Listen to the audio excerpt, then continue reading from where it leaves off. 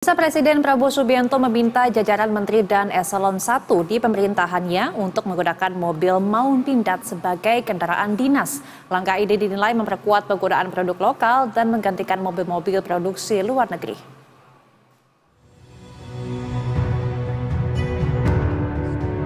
Usai resmi dilantik dan menjabat sebagai Presiden Republik Indonesia, Prabowo Subianto langsung bergegas bersama kabinetnya untuk bekerja. Salah satu hal menarik yang kini diperbincangkan publik, yakni keputusan Presiden Prabowo yang melarang menteri dan pejabat eselon 1 dalam Kabinet Merah Putih menggunakan mobil mewah buatan luar negeri. Presiden Prabowo Subianto meminta pejabat menggunakan mobil buatan anak bangsa. Istana menegaskan Presiden Prabowo Subianto memberikan arahan kepada seluruh menteri dan pejabat kabinet lain untuk menggunakan mobil dinas maung buatan PT Pindad. Prabowo disebut memberikan arahan ini dalam retreat beberapa waktu lalu.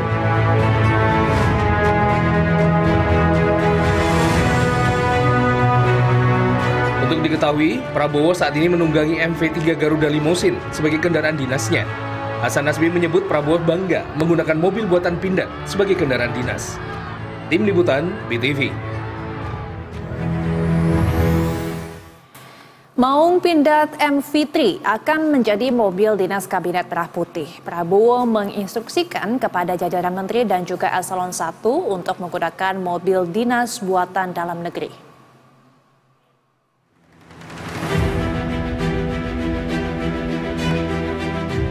Inilah salah satu momen saat Maung Pindad MV3 tampil dalam HUT TNI beberapa waktu lalu.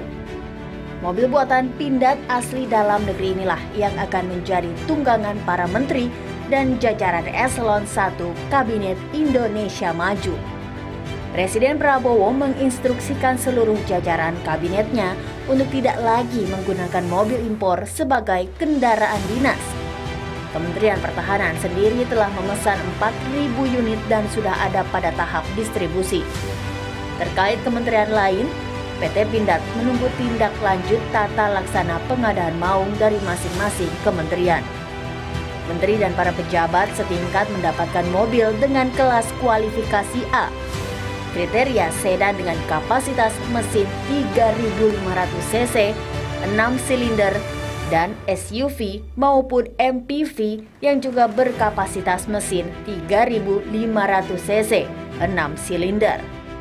Mengacu pada hal itu, Maung Pindad terhitung masih masuk dalam ketentuan tersebut. Sebagai bentuk kehormatan dan kebanggaan pada produk dalam negeri, Prabowo lebih dulu menggunakan mobil buatan Pindad sebagai kendaraan kepresidenan. Prabowo memilih maung Garuda Limousine dengan warna putih dan kerap digunakan dalam momen kenegaraan. Tim Liputan, BTV.